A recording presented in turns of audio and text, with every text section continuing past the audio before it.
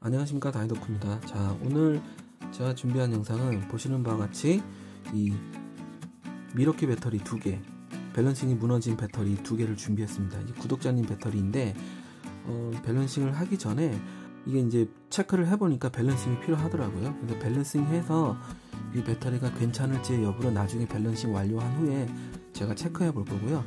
이번 영상을 통해서 여러분들께 보여드리고 싶은 거는 어, BC168 충전기하고 또 성격이 다른 M7 충전기하고 어, 그 성격이 다른 두 충전기에 대해서 설명을 잠깐 드리고 어느 쪽의 밸런싱이 좀 더 빨리 되는지 한번 여러분들께 어, 보여드리고자 합니다. 먼저 이 충전기를 간단히 설명을 드리면은 BC168 충전기는 제가 많이 추천을 드렸죠. 이 충전기는 이 배터리가 직렬로 연결이 되어 있다 하더라도 개별로 개별 셀로 인식을 해가지고요. 지금 이 총 배터리가 지금 어, 2P 구조로 총 5개의 직렬이죠. 그러니까 5개의 배터리를 하나의 각각 셀로 인식을 해가지고 총 5개의 셀로 개별로 인식해서 충전을 해주는 거라서 balancing 충전 속도가 빠릅니다. 그래서 balancing이 많이 무너진 배터리를 밸런스 잡을 때는 이 충전기가 굉장히 빠르게 할 수 있고요.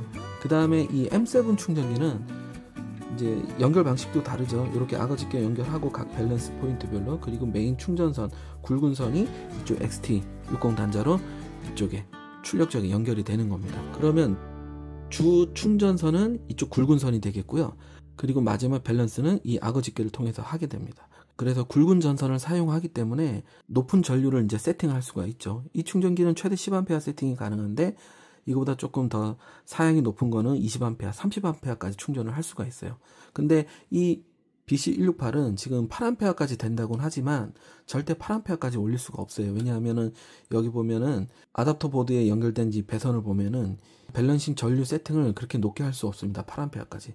제가 볼 때는 max 5A하고 5A도 장시간은 쓸 수가 없어요. 그래서 저는 기준으로 한 3A, 뭐 3.5A 정도 그 이상은 쓰지 않습니다. 그 다음에 balancing 충전 속도는 다행히 이게 빠를 겁니다.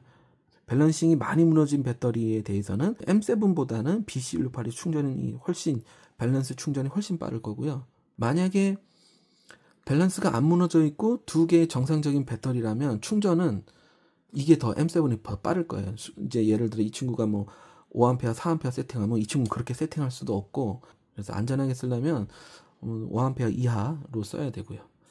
그래서 여러분들께 이제 두 충전기의 성격을 좀 간단히 말씀드렸고 이 두 배터리는 밸런스가 이미 무너진 상태입니다. 그래서 지금 이쪽은 600mV 정도, 이 친구는 한 270mV 밸런스 차이가 나거든요. 그래서 좀 밸런스 속도가 빠른 이 BC168 충전기에다가 이걸 물리고 그 다음에 이 270mV 셀 편차가 나는 거는 이 M7에 연결해서 어느 쪽이 더 빠를지 제 생각에는 이쪽이 두 배 이상 이제 밸런스 셀 편차가 나지만 이쪽이 더 빠를 것 같아요. 제가 예전부터 설명했지만 밸런스가 많이 무너지는 경우에는 one cell 충전 방법으로 한다 그랬잖아요. 근데 지금은 그냥 그대로 one cell 충전하지 않고 M7 충전기로만 그대로 연결해서 밸런스 충전이 완료되는데 얼마나 걸리는지 한번 보겠습니다. 자 그러면 잠깐 간단하게 이 밸런스가 어느 정도 차이 나는지 한번 볼게요. 자 극성대로 이제 측정하지 않고요. 전압만 볼게요. 자, 보시면은 자, 3.835 그다음에 3.959 4.089 4.060 3.46 그죠? 3.46 이게 좀 많이 낮네요. 그래서 밸런스 차이가 한 600mm 좀 넘게 나고요. 그다음에 이쪽 거 자, 3.79 4.07 차이 많이 나죠? 3.97 4.07 그 다음 마지막 4.07 그죠? 요거는 한 270mm 셀 편차가 납니다. 그래서 한번 충전을 해보도록 하겠습니다. 먼저 BC168은 지금 보면 이제 이 배터리가 지금 6A 거든요. 18650 30Q 배터리 사용한 배터리죠. 그래서 제가 누누이 말씀드리면 이제 충전 전류를 어떻게 세팅해야 될지 모를 때는 이 용량의 반 정도로 한다고 말씀드렸잖아요. 그러면 3A가 적당하겠죠. 3A로 세팅을 할게요. 자, 눌러서 목표 전압은 4.1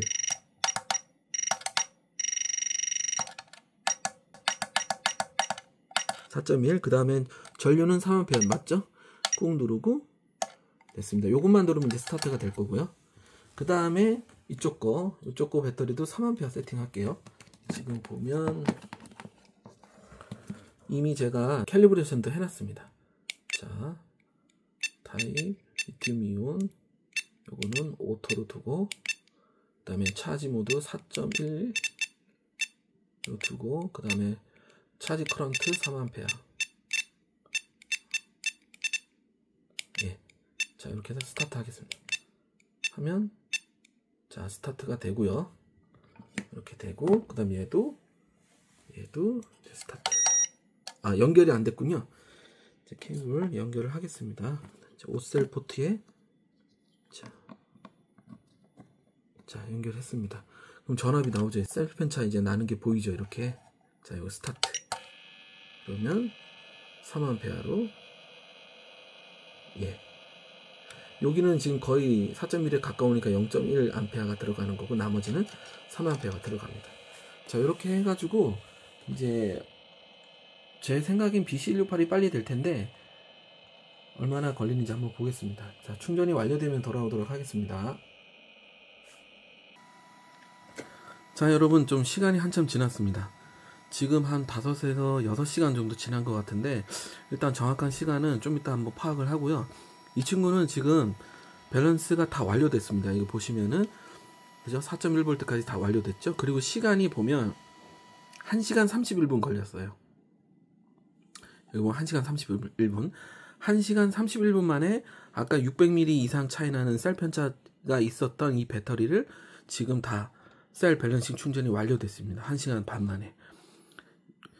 굉장히 빠른 속도죠. 근데 지금 M7은 이쪽 배터리가 아까 보면은 270mV 셀 편차가 있었거든요. 근데 아직도 지금 작동 중이에요. 보시면. 그죠? 보시면은 그죠?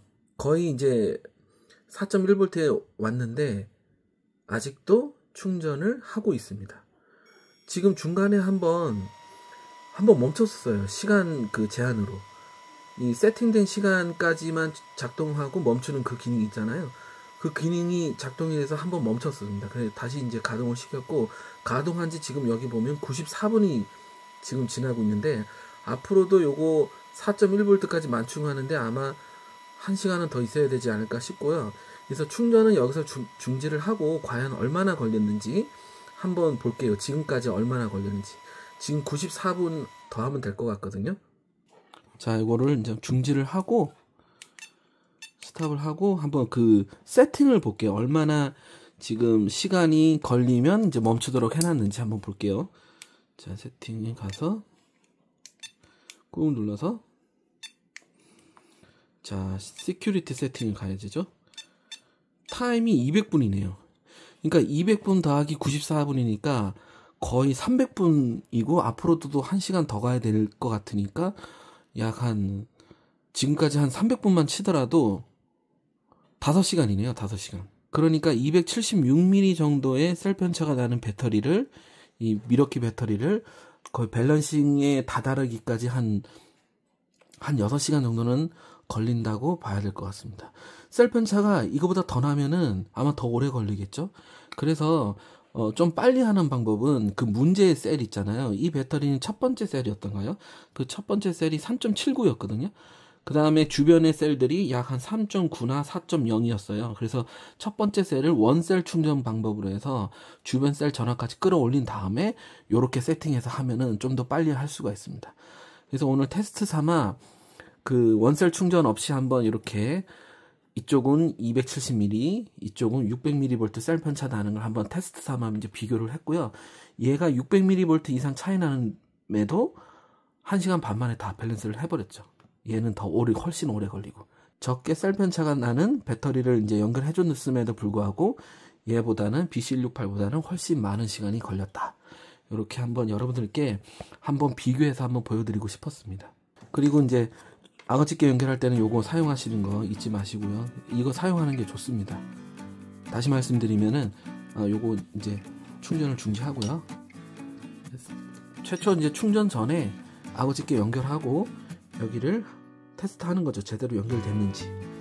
자 이렇게 다섯 개의 LED가 불이 들어오면 이 5셀 다섯 개의 셀 직렬 연결된 거에 대한 밸런스 포인트를 제대로 연결했다는 표시거든요. 이렇게 이런 거 써주면 좋습니다. 자 이쪽 배터리는 이제 밸런스 충전이 완, 완료됐기 때문에 이 상태로 이제 그 아그지 거 제거하고 한 하루 이틀 각 셀들의 어떤 전압이 자연 방전돼서 떨어지는지 확인을 해볼 거예요. 자연 방전이 된다는 거는 문제가 있다는 거거든요. 이 친구는 참고로 다섯 번째 셀이 최초 3.4V였거든요.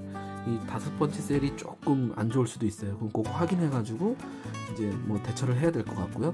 이쪽 배터리도 이제 거의 충전이 완료됐기 때문에 다시 BC168에 물려가지고 밸런스를 완료하고 마찬가지로 얘도 자연 방전 되는 셀이 없는지 확인해 볼 겁니다.